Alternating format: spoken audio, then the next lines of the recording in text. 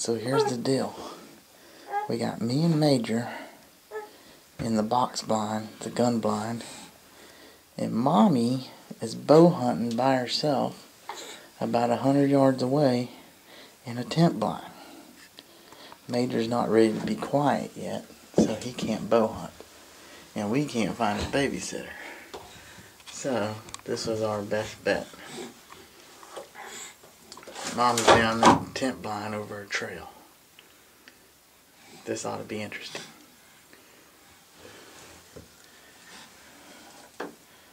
Stick with us. I'm going to communicate with her on what deer to shoot over text. And hopefully Major can be quiet enough.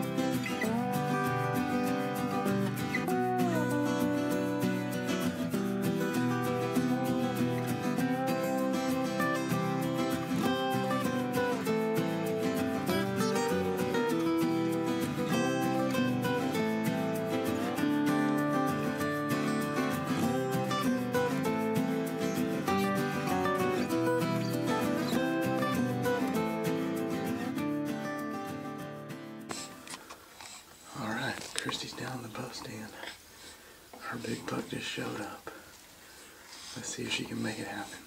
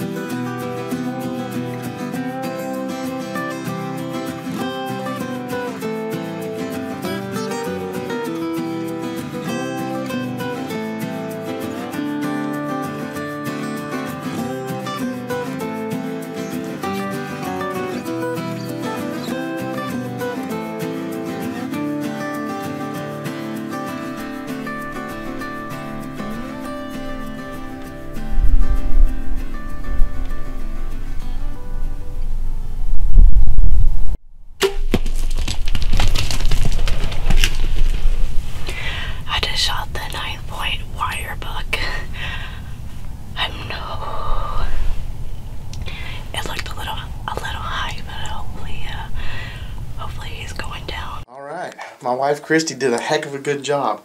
She's down in the bow blind, like I said before, and me and Major are up here in the box blind watching her from above.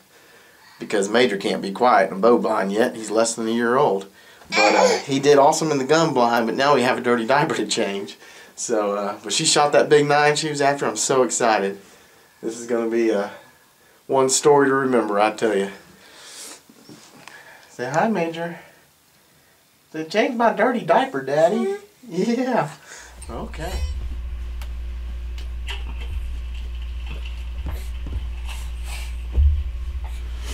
Well, good morning, folks. Uh, my wife Christy, she shot that big, uh, big buck we call the wireline nine. She shot him last night, and um, she did really good, but looks like a liver shot. So uh, we came back to camp last night, reviewed the footage, and we decided the best bet was to just, you know, let him lay overnight. It was cold last night. Uh, there's not many coyotes in the area or nothing, so we just decided better safe than sorry. Let him go ahead and lay all night long, and hopefully, when we get out there this morning, he'll be laying right where, where I saw him saw him bed down last night. So uh, we're about to get uh get all of our equipment ready, and me and Christy and Major are gonna go track her big buck. Wish us luck. We'll see you in the woods. The nine wire buck that we call. Um, you can see from the video that the shot was a little, well, not right in the right place exactly where it should be, but um, George uh, searched for him uh, yesterday morning and uh, yesterday afternoon, and he finally found him. So um, thankful for him for sticking it out and looking for the deer, and uh, very proud of him.